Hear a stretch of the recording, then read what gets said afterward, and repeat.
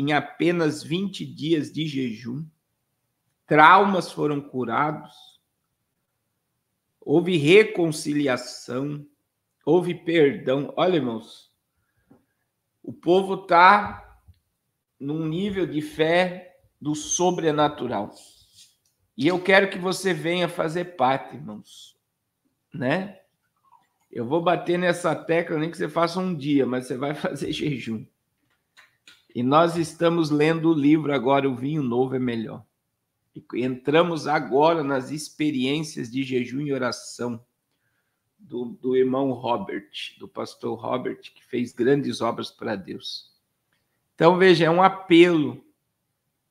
Saia da neutralidade, da carnalidade. É a única forma, eu não sei outro modelo, irmão, para a pessoa mortificar, para a pessoa mortificar a carne. Não existe outro modelo para a pessoa mortificar a carne, se não for através do jejum e da oração. Não tem outro, outro meio, né? Da pessoa mortificar a carne se não for através do jejum e da oração. Se alguém aqui sabe outro meio, outro modelo de mortificação de carne, eu queria que você me explicasse. Que você me falasse, esse meio tem que eu eu quero em nome de Jesus botar em prática. Eu estava ouvindo agora sobre o jejum intermitente, né? Jejum intermitente. E esse jejum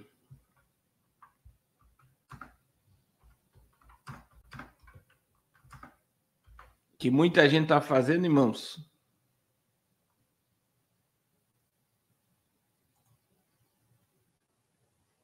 que muita gente está fazendo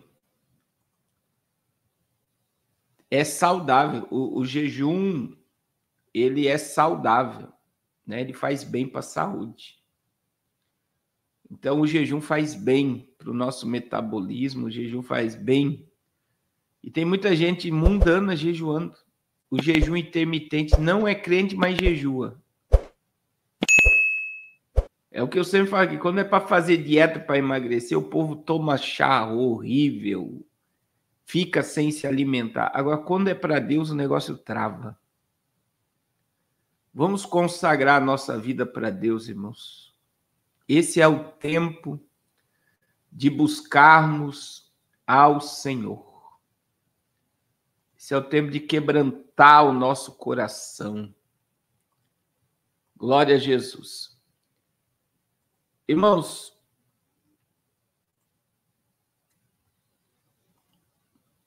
eu vou começar hoje né, com a, a capa, a fala do presidente que ninguém foi mais esquerda do que Jesus Cristo. Alegra é o presidente, alega, né, o presidente da República. Quando você estuda sobre direita e esquerda na Bíblia, tudo que é de esquerda é prejudicial, você sabia? Por exemplo, o ladrão da cruz. Qual foi o ladrão da cruz que foi salvo? Alguém sabe aqui? Foi o ladrão da esquerda ou da direita que foi salvo? Qual ladrão da cruz foi salvo? Foi o da direita, meu irmão. Mateus 25, quando Jesus fala, fala, né? Tive fome, deste comer, tive sede, me deste beber, estive nu e me vestiste. Aí ele vai dizer, ao, olha só, olha o que Jesus vai dizer, aos que estão à direita.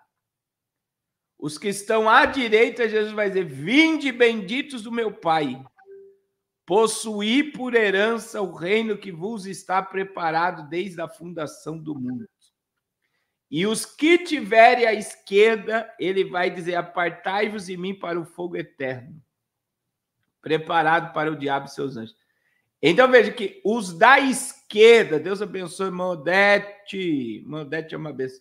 Sempre os da esquerda, você vai ver biblicamente, biblicamente,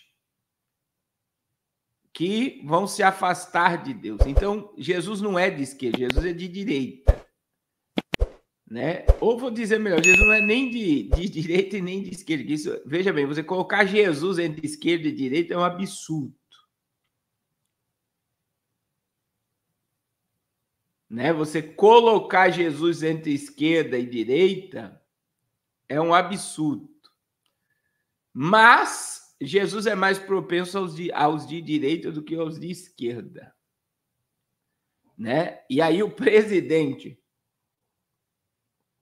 fazer uma afirmação dessa, né? Olha aí, tá no Pleno News. Presidente afirmou nesta quinta-feira que ninguém é mais esquerda do que Jesus Cristo. A declaração ocorreu durante um comício de apoio ao ex-deputado federal Caetano PT, candidato a prefeito de Camaçari. Ninguém brigou mais pelos pobres do que Jesus Cristo. A gente não tem medo de dizer que a gente é de esquerda, assinalou. No discurso, o presidente criticou o ex-presidente e disse que o ex-presidente inventou ser evangélico, pois, a seu ver, não segue os valores cristãos. Inventou até que era evangélico. Ele não acredita em Deus, não acredita em Deus, porque o comportamento dele é de quem não acredita. O homem que faz o filho disputar uma, uma eleição com a mãe e ele derrotou a mãe, diz a, o petista, referindo-se à eleição carioca em 2020, que Rogério Bolsonaro e a ex-esposa do ex-presidente concorreu à vere, vereança contra Carlos Bolsonaro, um dos três filhos que teve como ex-presidente. O discurso, também tentando atrair os eleitores cristãos, ocorreu três dias após a, a sanção de uma lei que cria o Dia Nacional da Música Gospel. A data passará a ser celebrada no dia 9 de junho.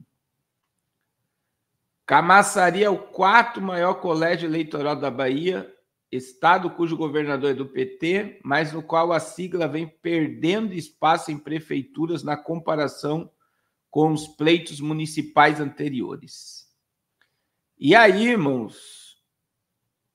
Eu fico muito orgulhoso de ver o Caetano arrumar uma vice, uma mulher negra, uma pastora. Tem nada mais extraordinário do que essa união de dois partidos de esquerda. A gente não tem medo de dizer que a gente é de esquerda, porque ninguém foi mais de esquerda do que Jesus Cristo. Ninguém, ninguém, ninguém brigou mais pelos pobres do que Jesus Cristo. É exatamente. E aí, irmãos, eu, eu falo para vocês, né?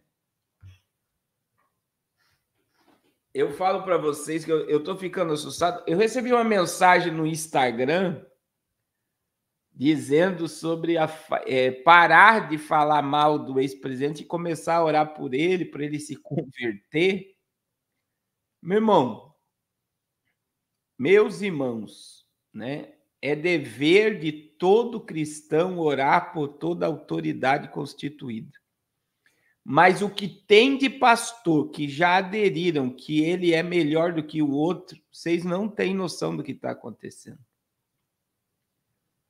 Porque eu, eu, quem me acompanha aqui há muito tempo, quem me acompanha aqui há muito tempo, eu falo, o, o, o, o, que o, o Partido das Trevas quer não é fechar a igreja, meu irmão. Eles não são loucos de. Veja que ele está fazendo de tudo para se aproximar das igrejas. Vocês estão entendendo? Que você vai ver uma aproximação do PT às igrejas. Porque eles querem. Veja, é uma pastora que é a vice-prefeita, candidata a vice-prefeita de Camaçari. E por que eles querem se aproximar? Eles querem se aproximar porque eles querem se infiltrar e mudar e mudar a mentalidade do, do daqueles da, do princípio do conservadorismo judaico-cristão de dentro para fora. É de dentro para fora.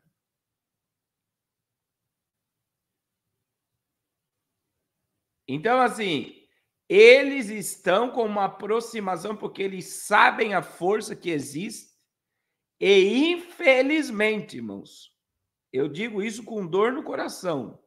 Não existe, eu sempre falo, irmãos, eu conheço muito político, muito político, e eu digo, o voto mais nojento que existe é voto de evangélico, não é voto fidelizado. E eu falo para quem é candidato político, não acredite em voto de crente. Eu já trabalhei, a missionária Raquel já foi assessora de vereador, meu irmão. O vereador tinha ânsia de receber pastores, porque ele sabia da falsidade. Ele sabia do interesse de dinheiro apenas. Ele só ia no gabinete para pedir dinheiro. É assim que político vê pastores no Brasil, como aqueles que querem dinheiro como aqueles que querem se aproveitar. Então, o que, que eles estão fazendo agora? O que, que o PT tem? Tem muito dinheiro, porque ele está com a máquina pública na mão. E eles vão jorrar dinheiro dentro das igrejas evangélicas e os pastores vão vender e vão abrir mão de princípios e valores por causa de dinheiro.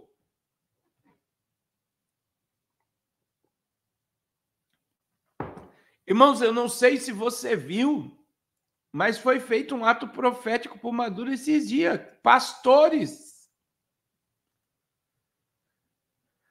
Pastores fazendo ato profético para Maduro. Está no meu Instagram, vou colocar aqui para você ver. Eles não querem mais mexer com perseguição religiosa.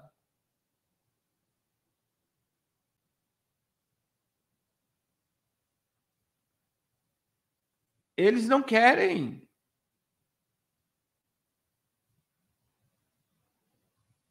Eles querem se infiltrar e mudar o pensamento de dentro para fora.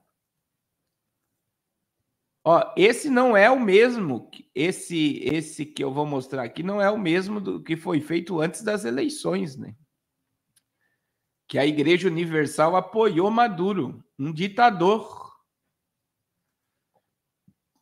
Olha só, esse é outro que foi feito, tá?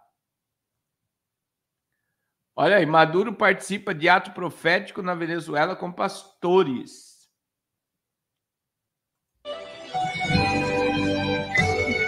Foi antes das eleições, acredito, né? Ou depois, não lembro a data das eleições, mas vamos lá. Foi dia 15 de junho, tá aqui, ó. Deus traspassou o mando del presidente Chávez. Ó, estão te passando o mando do presidente Chaves, outro ditador. A você, porque você tem um coração para servir ao povo. Porque você tem um coração para servir. Sabe? É o que vai acontecer com o Lula, meu irmão. É o que vai acontecer com o Lula. Por quê? O Antônio de Paula falou que o Lula tirou, tá, deu, deu comida pro povo, fome zero. Deu casa pro povo.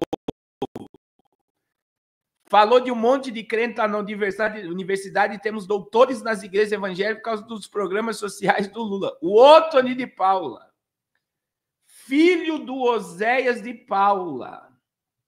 Dice la Biblia, los mandos solo se traspasan a los hombres que son siervos, que sirven y que tienen el corazón para el Los sueños de tu corazón con este país se van a. Tienes un corazón de siervo y amas la gente. Yo, desde el Palacio Presidencial de Miraflores, en Caracas, como presidente de la República Bolivariana de Venezuela, voluntariamente entrego mi nación a Cristo para que sea el dueño absoluto de esta patria bendita. Amém. Tá aí, ó. Irmão, não se iludam. Não se iludam. E aí vem um grande problema, né? Qual é a, a, a ilusão disso tudo, pessoal? Irmãos, por que, que ele não, não, não, não abre mão? Por que, que ele, ele fraudou as eleições? Alguém sabe?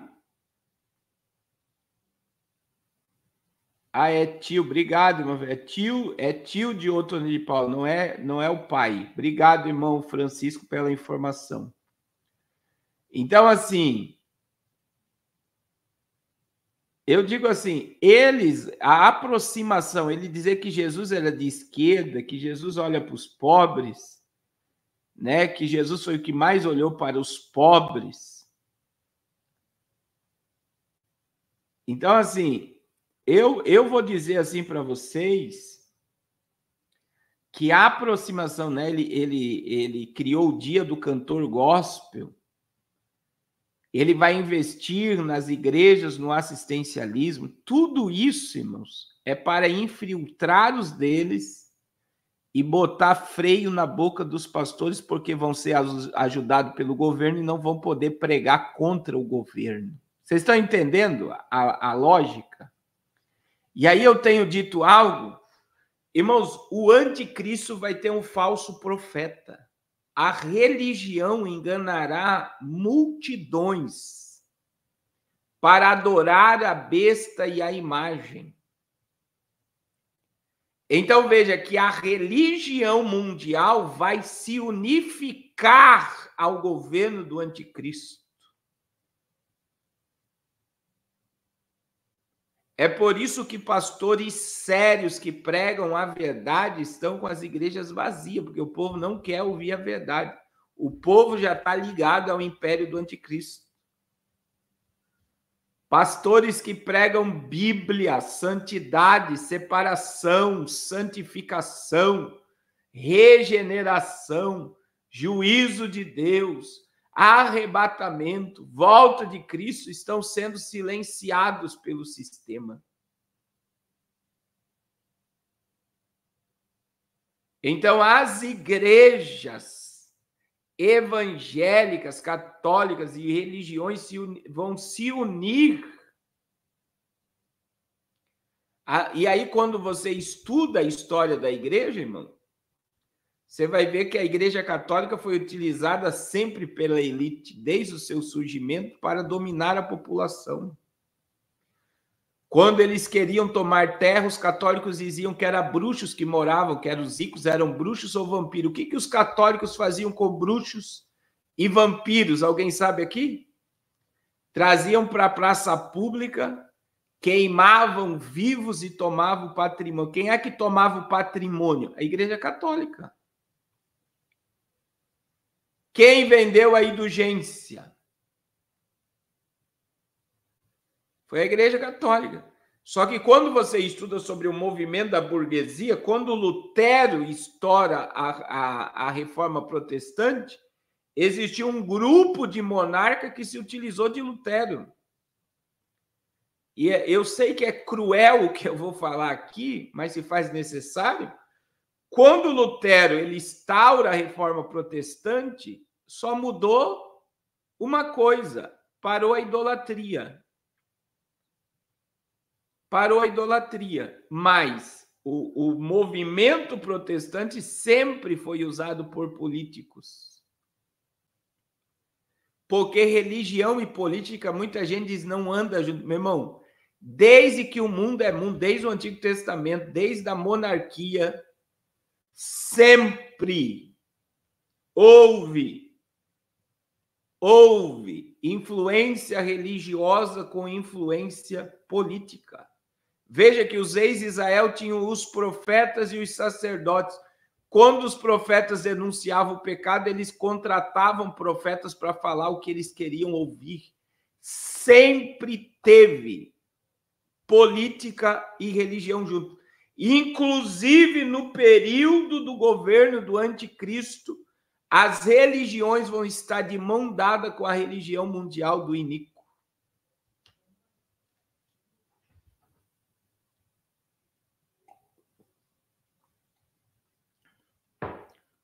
Então, o que, que o Lula está fazendo? Lula é Acabe, Janja é Jezabel, E Jezabel e Acabe tá comprando os profetas dessa nação para perverter a religião. E essa desceu agora do céu, tá?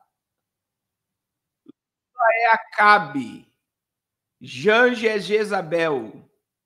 E Acabe e Jezabel estão trazendo os profetas para comer na mesa e para mudar o discurso, para se aproximar da classe religiosa e mudar os conceitos de Deus. E tem muito líder religioso comendo na mesa de Jezabel com Acabe.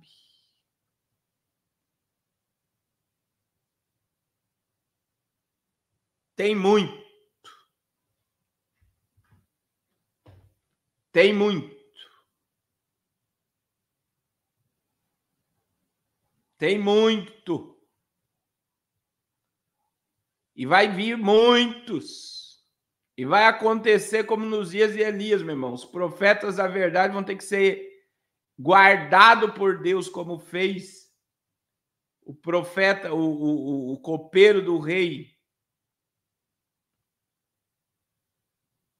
que guardou cem profetas em covas para não morrer por Jezabel. E Elias foi escondido por Deus. Obadias, né, que guardou, é muito forte essa essa passagem Meu irmão Obadias guardou cem profetas. No meio de uma crise de fome, crise de sede, cem profetas foram guardados. Obadias servia a Cabe e Jezabel, mas não se corrompeu. E eu e você somos os Obadias desses dias que preservamos a palavra. Oh, glória a Jesus. Oh, glória a Jesus. Oh, glória a Jesus. Oh, glória a Jesus. Aleluia. Aleluia. Aleluia!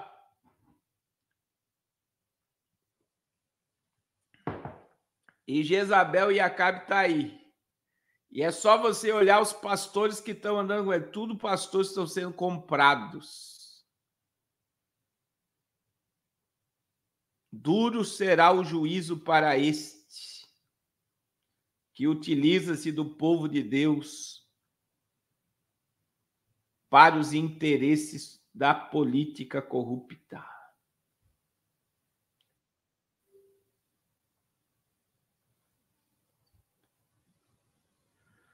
Da igreja maligna. Irmão, preserve.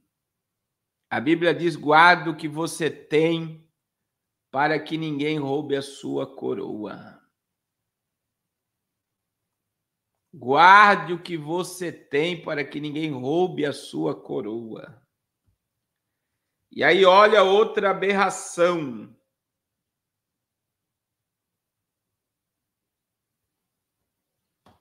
Olha outra aberração. Foi hoje, né? STF permite que trans usem perturiente em vez de mãe ou pai. Quer dizer, é bom colocar aqui que mãe vai e pai vai permanecer. Só que agora surgirá um, no, um novo padrão familiar no Brasil.